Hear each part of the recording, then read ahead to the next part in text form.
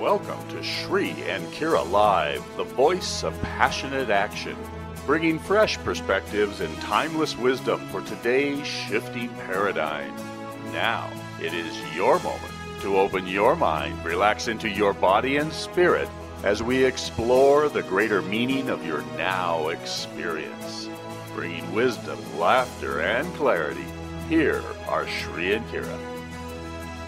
Namaste and welcome, beloved ones, to Sri and Kira Live, the voice of passionate action. I am Kira Raa. And I am Sri Ram Kaa, and we are delighted to be with you. You know, we are. And today, I love today, we are diving into this is our culminating show, Sri, our last show of our series on messages from other dimensions. And what a fabulous way to end this with our dear friend Bill Birnes talking about angels, UFOs, and the misinformation. I think, especially what's going on on the planet right now. This is a really powerful and captivating topic. And, you know, Bill has been on the show. He's been regular on, with us. Those of you that have been listening to us for the past eight years know that we've had Bill on, gosh, at least once or twice a year every year. So always a great guest. Absolutely. And, you know, the topic today, we've kind of gone from the um, let's just say the formless messages of channeling and inspired guidance and we're kind of coming forward now to uh, well you know some of these folks have form yeah they well some, of, we some start... of these visitors are, are just uh, they have some shape and size to them. well them. they do and you know i think about we started this with james gilliland was the beginning of this series and i kind of like the bookends of james and bill and in the middle we had uh, steve and, and barbara rother and we had melody from sedona journal and robert shapiro last week a really rounded look. And and uh, we hope our intention of this series was to broaden your mind, broaden your field of experience into this. Beautiful indeed. And, you know, one of the things I want to remind everybody you can join us on Twitter. You know, say hello. Our Twitter handle is at Sri and Kira. That's simply at Sri and Kira. You can also use the hashtag Sri and Kira Live so that we can read your tweets later. So please consider sending us a, uh, your little messages on Twitter or tweet away or joining us live on the call because you can always uh, do that as well. Indeed. You know, one of the things that's fun, uh, at least what my definition of fun is when we get to peek behind the veil, yeah. when we get to um, discover a mystery or bring some light of day to something that was in the shadows. And certainly, uh, one of the perennial topics of being in the shadows is about the the UFO phenomenon. That uh-huh. is the uh, uh, unidentified uh, flying objects, the uh, the uh, extraterrestrial visitors, and and everything that goes with that. This has captured the imagination of people around the world for the last half century. Well, you know, Sri, one of the things that I think is important to pay attention to is the way that Hollywood has shifted. You know, I, I I'm old enough. I think all of us are old enough, especially now they've redone it, to remember E.T. when we first came out with this benevolent, loving, precious little being that we all wanted to go home. You know, we wanted and, him and, to- and that was when. Spielberg was still kind of more in a benevolent mode, you know, followed by, uh, you know, when we had the third kind, you know, the close encounters. And, and then what's fascinating is this shift, and Bill has always added a lot of illumination to this, this shift from a benevolence to a be afraid, be very afraid, to many, many uh, Hollywood movies, TV shows that want us to be afraid of that which we cannot um, fully explore and that which might shift the paradigms of the accepted norm.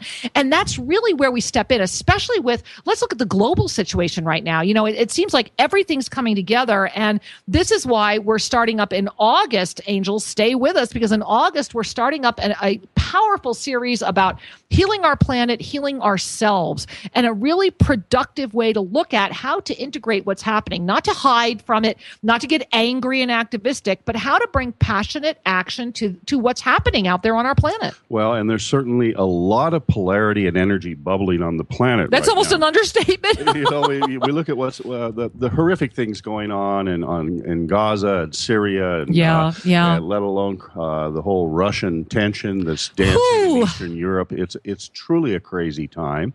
And it's a time when those of us that are not directly involved in those conflicts and tensions to be holding a space of, of peaceful uh, energy to help. Uh, let's just say to help calm the waters. Well, and you know, speaking of that, I want to make a, an invitation to everybody listening. Make a note right now. Shri and I every month hold a wonderful circle. It's a miracle team circle where we do ceremony and explain in depth all of the revelations for that month. Now, remember on YouTube, this is always posted in video by the first of each month. So if you're hearing this around, you know, the first of August, go check out the revelations for August. But on Wednesday night, August 6th. I want you to make a note of that. August at 5:30 Pacific time.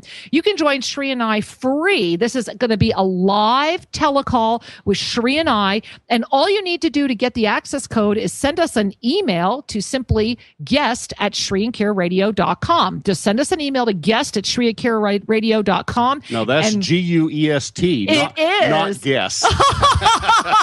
because if you're guessing, you'll oh remain no, you know, guessing am. I that hard to understand, Sri? Oh my goodness. So, hey guys, remember, make a note. August 6th, 5.30 p.m. Pacific time. Send us an email, guest at sriandkira.com.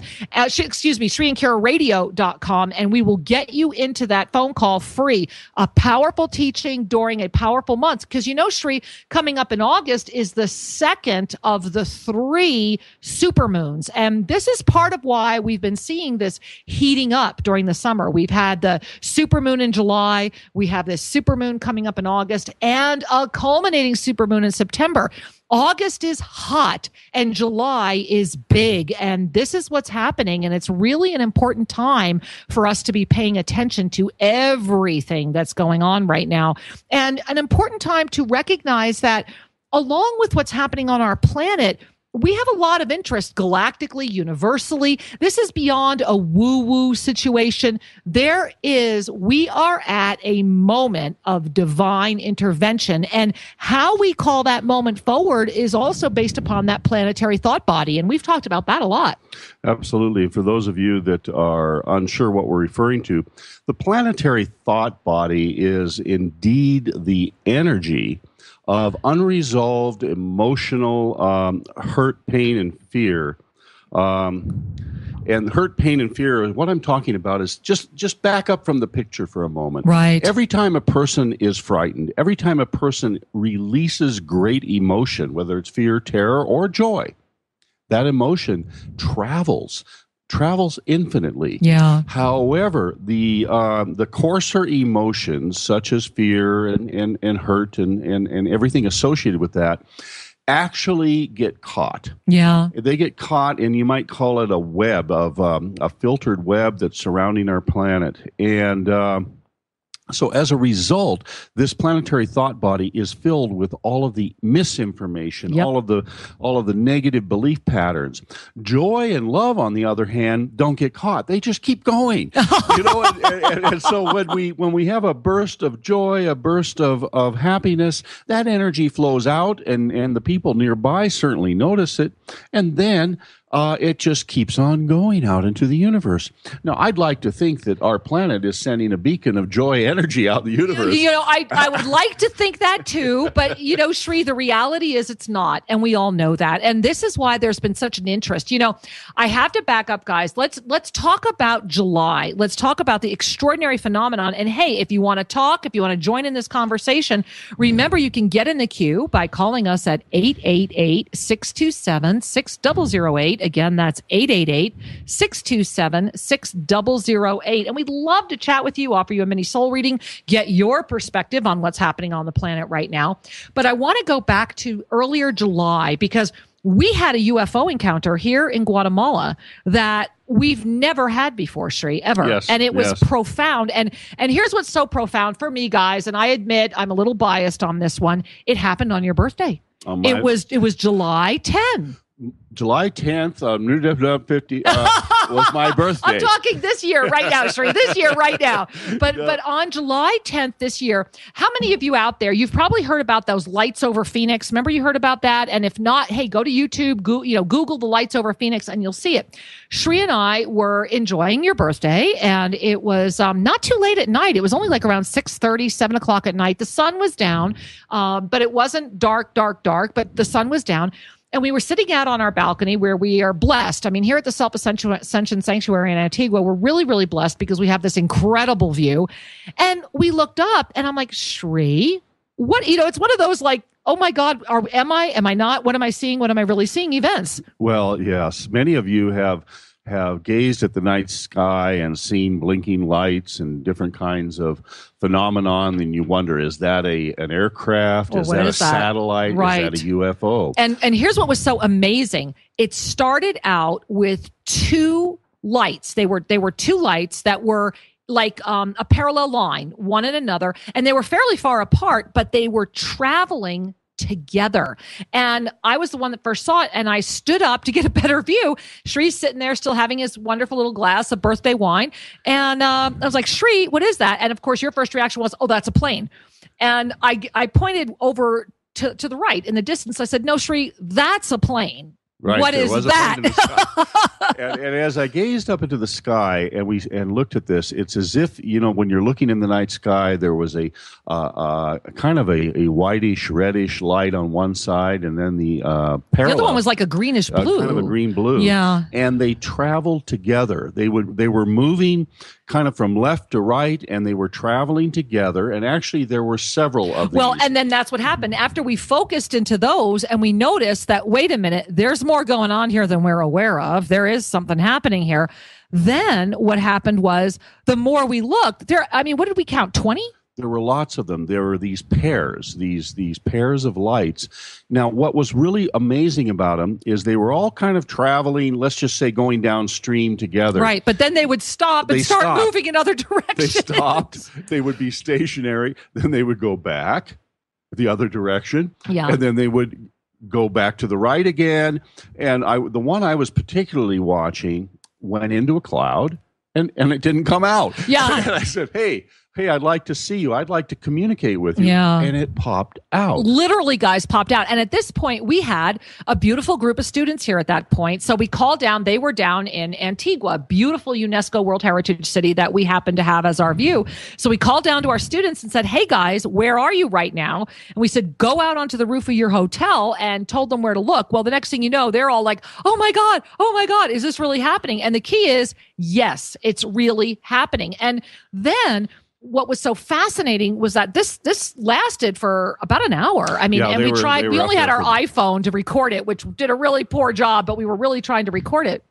Well, and and from our experience in working with uh, uh, interdimensionals, we we decided maybe the best thing to do is just relax and seek a telepathic communion, to seek uh, seek some form of message.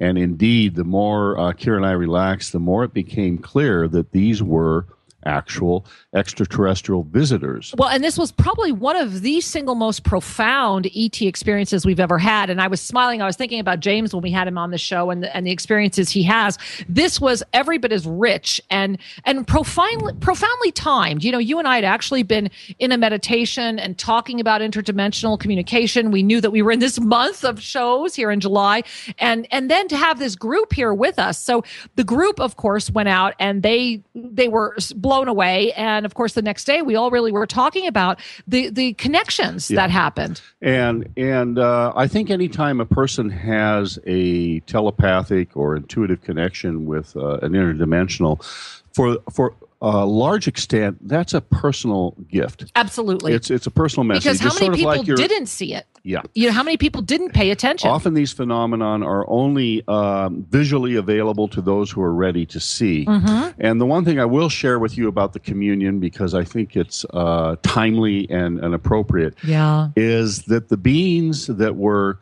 um, communicating via these ships, uh, what I heard very clearly was that their home base was on the planet Mars. Which is very fascinating, especially with all the interest in Mars right now. Yeah, and you think and, about and all the rovers right, and all of the travel. Right. And we're not saying that they live there, right? All right, so they, you don't have to no, sort of go, great, that, they're talking about yeah. Martians. We're talking about it's kind of like a, uh, uh, a jump point. Yeah, it's, like it's a, a, station or yeah. a, a, a, physical right. a physical uh, base that they can use for recharging and taking care of themselves. And you know, lately, if you start looking at all of the revelations that are happening with all the new cameras, more and more we're starting to get undeniable evidence of not only structures and things that exist on Mars, but also our moon there's a lot going on around that right now. Well, and, and let's just explore Mars for another moment. Sure. Uh, uh, I invite I'll you. explore it anytime, straight. let's go, baby.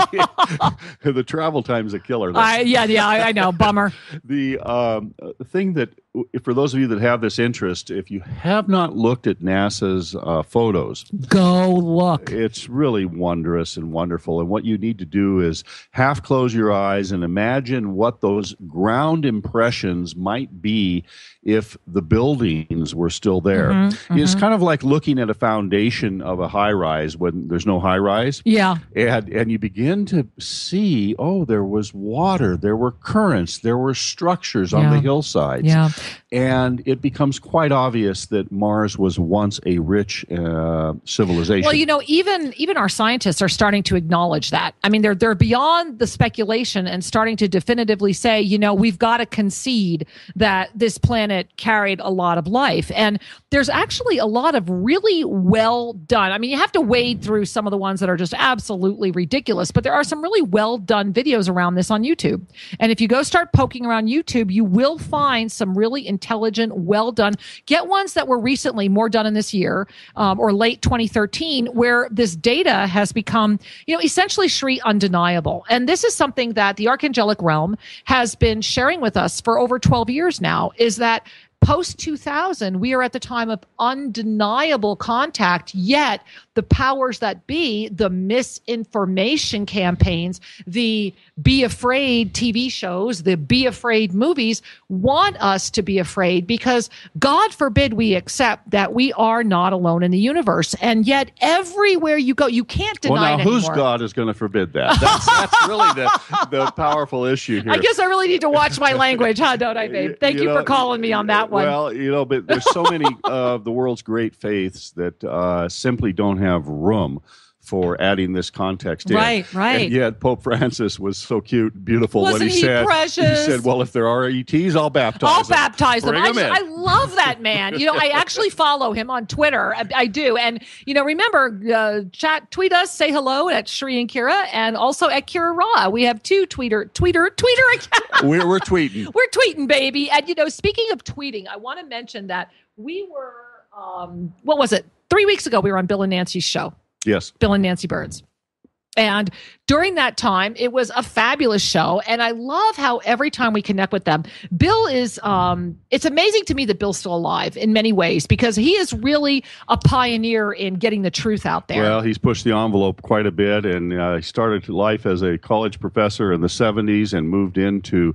Uh, Oh my goodness! Uh, real crime research and Yeah. UFO research. Day after Roswell was a New York Times bestseller that Right. uh, he he worked on. and he's one of these guys that, you know, he's so incredibly brilliant that he gets the information. He does the research. There's there's never a doubt. When he brings something forward, it's a bona fide fact. Well, and this is part of both the blessing and the dilemma of the times we are in. Oh, now let me let me take this to where I'm going. all right, Is- Mr. is- Passionate Action, is- take it. Go for it. Is that we have these wonderful brains. We have this uh, this gray matter that loves to put facts and figures together. Right. And and then when the facts and figures are put together, it's presented to our consciousness so that we can accept it fully. Yes. Now there's many people that will accept things fully without all the facts and figures. that, true, that true. will accept Well, it based on intuitive data. Well, and because their heart, I mean, let's face it, your heart is the ultimate lie detector. And when your heart resonates as true, then you, you know that. And, and Bill's one of these guys that has a wonderful intuitive heart, and yet he will bring all the facts and figures to bear. Right. And, Well, you uh, know what and- helps him do that is his amazing wife, Nancy.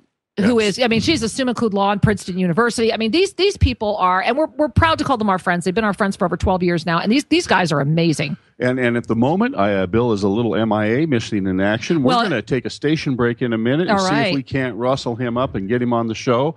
But for right now, uh, we invite you to stay with us. We'll be right back after these messages.